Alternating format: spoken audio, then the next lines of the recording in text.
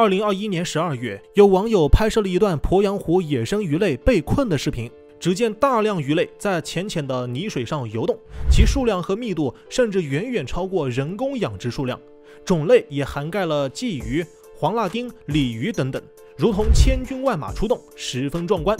然而，由于鄱阳湖属于长江水系，在禁渔令的限制下，众多想抓鱼的人也只能看着眼馋。更有渔民感叹：看着这些鱼死在滩上了，也不能抓，实在太浪费了。欢迎来到科普启示录，我是小强哥。让这些鱼在浅滩上发烂发臭也不是个道理。事实上，早在这个视频发出的几天后，就已经有附近的人按捺不住去鄱阳湖冒险捕鱼了。毕竟这可是大自然送到岸上的鱼，何乐而不捞呢？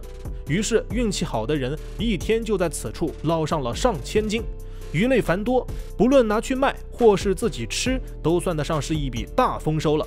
如此的盛况鼓励了众多居民前往，一时间鄱阳湖挤满了来自各地的捕鱼人。可是后来的人运气可没那么好了。附近居民反映，本地的护渔队知晓消息之后，迅速赶到现场，劝说群众将捞上来的鱼放生到湖当中。长江本来就禁渔，迫于政策压力，许多人只好把抓来的鱼放归湖中。许多人从外地迢迢赶来，最终却落得个一场空。对此事，网上展开了热烈的议论。有的人认为护渔队的做法过于死板，放任搁浅的鱼在浅滩中腐烂，反而会污染环境。这样的捞鱼属于良性，应该被适当放宽标准。有的人认为护渔队只是在维护禁渔政策，何况将这些搁浅的鱼捞走，属于一种私自牟利、是占小便宜的行为，应当零容忍。双方各执一词，争执不下，到底谁比较有道理？这点还得从长江禁渔开始说起。二零二零年一月一日，农业农村部宣布，长江从这天开始正式开始实行十年禁渔计划。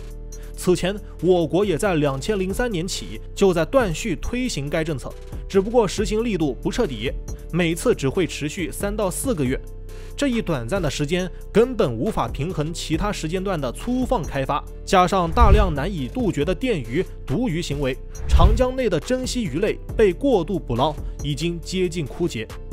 逐渐，长江内的生物链陷入了无鱼的最糟境地。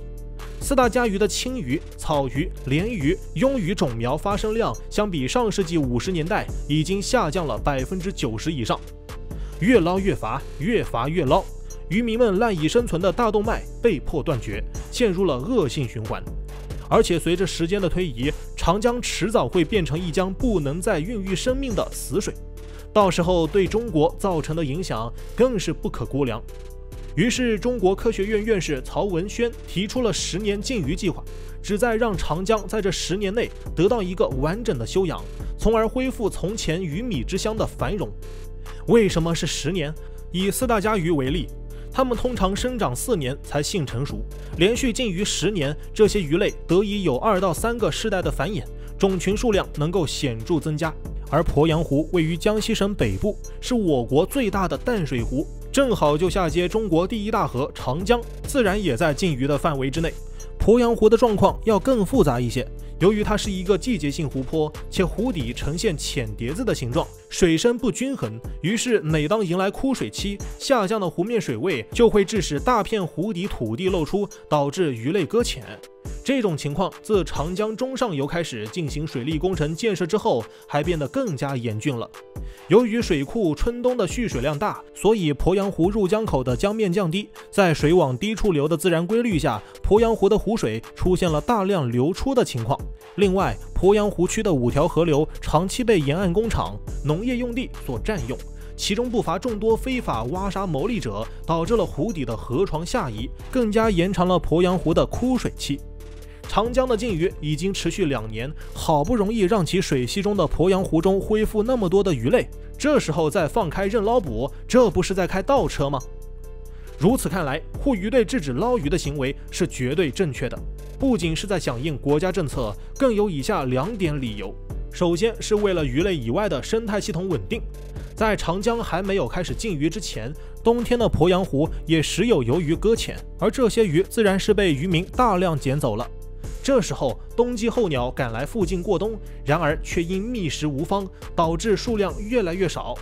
鄱阳湖不仅是鱼类天堂，同时也是全世界最大的鸟类保护区。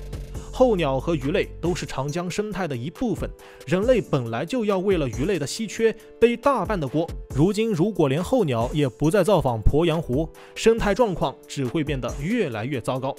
更何况，吃不完的死鱼也会在微生物的作用下重新化为有机物，回归湖中，为新诞生的生命提供养分。其次，放开本次捞捕将会助长更多的不良风气。二零二二年是长江禁渔的第二年，尚处在十年禁渔大计的初期。何况鄱阳湖水位下降是正常的自然现象。如果年年出现这种情况都放任捞鱼，那么禁渔这个政策也会变得像一个笑话了。仅因为自然现象的鱼类搁浅而开一个口子，之后的政策实行都会变得缺乏说服力。为了未来八年考虑，必须要给护渔队的坚定维护点个赞。现如今，在越来越严重的鄱阳湖水位矛盾之下，新建鄱阳湖水利枢纽工程的呼声也高涨了起来。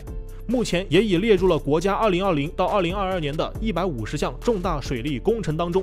具体的规划就是建起一个水闸。在梅雨季的长江汛期，敞开水闸泄洪；在上游蓄水之后，下闸也要完成蓄水，从而把鄱阳湖的湖水留住，防止其流到下游的长江中去，减少枯水期对鱼类的影响。同时，通过人为调整江湖关系，在鱼类迁徙和回游的高峰期直接开闸，为其专门提供通道。不过，目前该工程还面临着众多的制约因素，目前推进困难，要落实应该还需要一段时间。我们只能期待着它未来为我们改善如今的矛盾状况。你认为禁渔和搁浅的矛盾还可以如何缓解？未来可能放开捞捕吗？欢迎在评论区留言交流。我们下期见。